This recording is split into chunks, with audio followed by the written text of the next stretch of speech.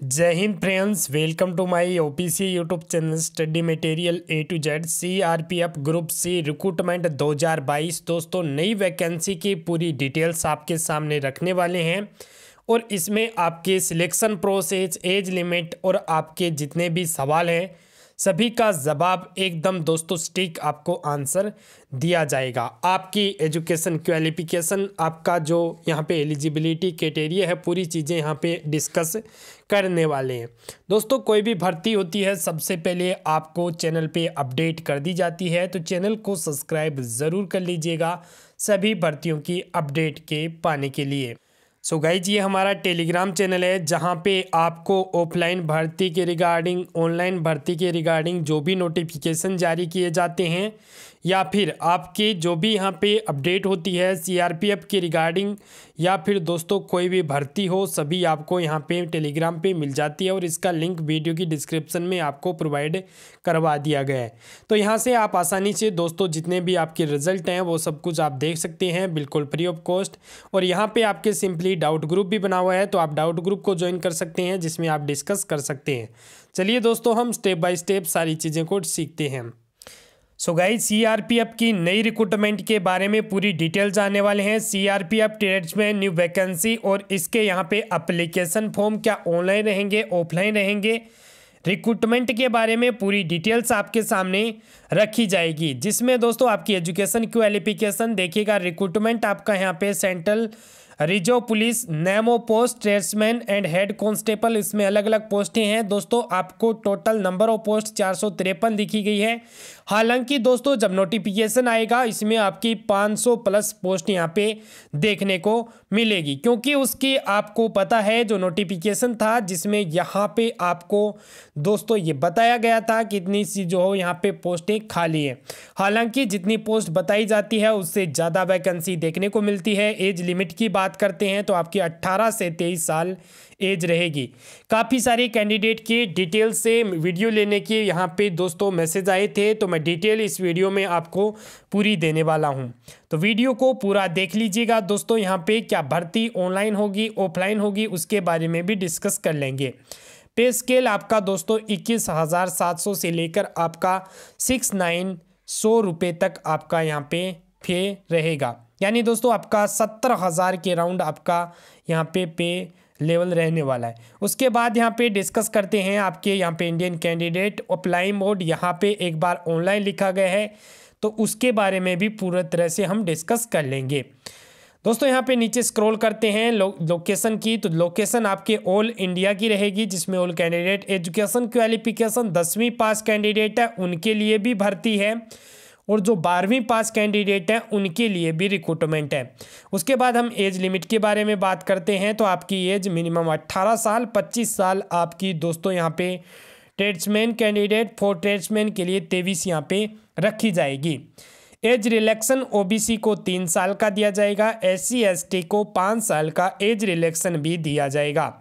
नीचे हम स्क्रॉल करते हैं, आपकी एप्लीकेशन फ़ी की। तो अगर दोस्तों आपका एप्लीकेशन ऑनलाइन रहेगा तो आपका एप्लीकेशन फॉर्म सौ रुपये फ़ी चार्ज किया जाएगा। एस सी के लिए कोई भी फ़ी चार्ज नहीं रहेगा। उसके बाद यहाँ पे पेमेंट मेड ऑनलाइन ये मैं सारी चीज़ें डिस्कस कर चुका हूँ। ये C R P F tradesman vacancy जिसमें आपको ए एस आई स्टेनो की वैकेंसी देखने को मिलेगी।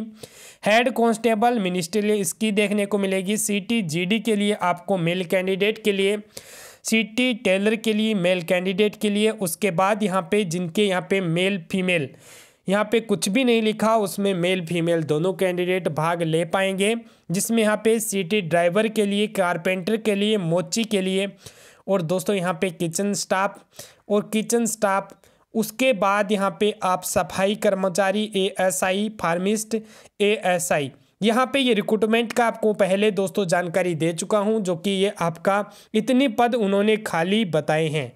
अब सबसे ज़्यादा ज़रूरी है आपकी एजुकेशन क्वालिफिकेशन डिटेल्स कि आपकी एजुकेशन क्वालिफिकेशन क्या रहेगी। जो कैंडिडेट दसवीं पास हैं तो सोल्जर जीडी के लिए आप अप्लाई कर पाएँगे। किसी भी बोर्ड से आपने अप्लाई किया है, कोई भी आपको एक्सपीरियंस सर्टिफिकेट की आवश्यकता नहीं होगी। उसके बाद अगर हम बात करते हैं एच की, जिसमें आपको बारहवीं पास और उसमें आपका स्किल टेस्ट के दौरान। ये आपका दोस्तों बाद में चाहिएगा, यानी स्किल टेस्ट के दौरान जो आपका इंग्लिश के अंदर जो स्पीड ऑफ़ रेशियो है, ये आपका 25 का होना चाहिए पर मिनट इंग्लिश के अंदर, हिंदी के अंदर आपका 30 मिनट पर आपका रेशियो होना चाहिए। उसके बाद हम बात करते हैं वासरमैन की तो वासरमैन की कैंडिडेट भी दसवीं पास साथ में वन ईयर का एक्सपीरियंस आपका मांगा जा सकता है। अभी आपका डिटेल नोटिफिकेशन आना भी बाकी है। दोस्तों, ये आपका यहाँ पे इनिशियल यानी आपका एसेंशियल होना ज़रूरी नहीं है। आपका मांगा भी जा सकता है और अन्यथा दोस्तों, आप अप्लाई ऐसे भी कर सकते हैं। वाटर कैरियर के लिए आप दसवीं पास के लिए यहाँ पे अप्लाई कर पाएँगे। उसके बाद नीचे हम सफ़ाई वाला की बात करते हैं तो दसवीं पास आप किसी भी बोर्ड से हैं तो आप यहाँ पे कर पाएँगे। थोड़ा बहुत जो हो आपको दोस्तों यहाँ पे जो कि ज्ञान होना चाहिए, हिंदी, इंग्लिश यानी अपना लैंग्वेज को लेकर।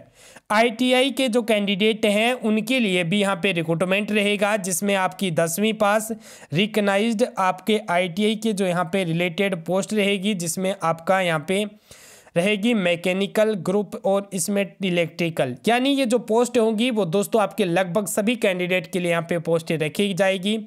कुक के अंदर केवल दसवीं पास कैंडिडेट आपके यहाँ पे अप्लाई करेंगे। वन ईयर का एक्सपीरियंस आपसे दोस्तों इन एकदम जो है आपका यहाँ पे मैनेडेटरी अगर रखते हैं तो आपको देना पड़ेगा।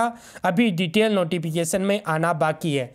दोस्तों, उसके बाद हम बात करते हैं ड्राइवर की। तो ड्राइवर के लिए आपको दोस्तों यहाँ पे दसवीं पास विद आपको लाइसेंस भी मांगा जा सकता है। तो ये लाइसेंस दोस्तों लगभग मांगा ही जाएगा, मांगा क्या जा सकता है? बिल्कुल। उसके बाद यहाँ पे बात करते हैं आपके डॉक्यूमेंट की। अभी डॉक्यूमेंट आपको कौन से यहाँ पे तैयार करवाने? Education certificate, Aadhaar card, tenth pass की marksheet, latest photograph, mobile number, signature, caste certificate, experience certificate, domicile certificate. उसके बाद हम बहुत सारे कैंडिडेट के हाइट और चेस्ट को लेकर भी पाँच किलोमीटर रनिंग चौबीस मिनट में आपके फीमेल कैंडिडेट के लिए सोलह one point six kilometre running साढ़े आठ मिनट में। लद्दाख के जो कैंडिडेट हैं, उनको यहाँ पे एज यानी दोस्तों यहाँ पे आपका रनिंग में भी छूट दिया जाएगा। मेल कैंडिडेट फीमेल कैंडिडेट के फ़िज़िकल स्टैंडर्ड टेस्ट के बारे में डिस्कस कर लेते हैं। टेरिसमैन के लिए आपको दोस्तों 170 सेंटीमीटर हाइट रखी जाएगी। ये रहेगी आपके मेल कैंडिडेट के लिए। फीमेल कैंडिडेट के लिए आपकी एक सौ सतावन सेंटीमीटर रहेगी।